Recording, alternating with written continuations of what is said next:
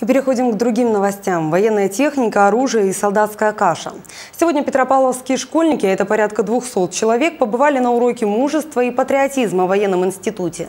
Посетила экскурсию наша съемочная группа.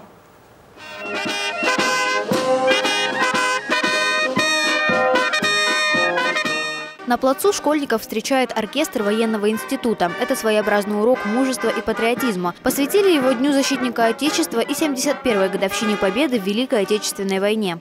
Считаю, что важность этого мероприятия заключается в том, что это одна из слагаемых военно-патриотического воспитания. Э, с одной стороны. С другой стороны, ну, мы в этом видим и аспекты профориентационной работы. Возможно, из числа вот тех, кто сегодня ходит на нашем плацу, знакомится с образцами техники, вооружения, в будущем выберут путь в наше учебное заведение, поступят, закончат и будут продолжать службу в Национальной гвардии Республики Казахстан. Экскурсия началась со знакомства с оружием. Здесь выставлено все, чем должен владеть военный. От автомата Калашникова до миномета. Сегодня ребятам разрешили не только посмотреть на такой арсенал, но и подержать в руках. Все интересно, все охота посмотреть, пощупать.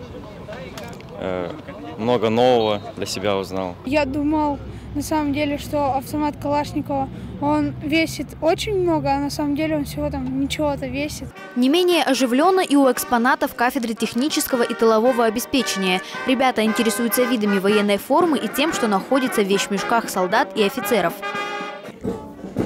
Посмотрели школьники и вот такой бронетранспортер, который стоит на вооружении в Национальной гвардии. Весит он 13 тонн 600 килограммов и предназначен для перевозки личного состава в боевых условиях.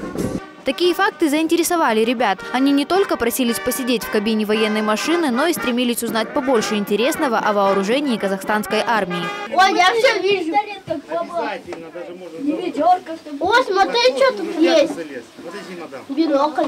Кстати, школьникам рассказали и о спортивных достижениях курсантов института. Занимаются они в основном силовыми видами спорта. Это бокс, кикбоксинг, самбо, дзюдо и тяжелая атлетика. Среди них есть чемпионы Казахстана, Европы и мира. Ну а после урока школьников на военно-полевой кухне угостили настоящей солдатской кашей. Алена Подласова, Тимур Ахматуллин. Новости МТРК.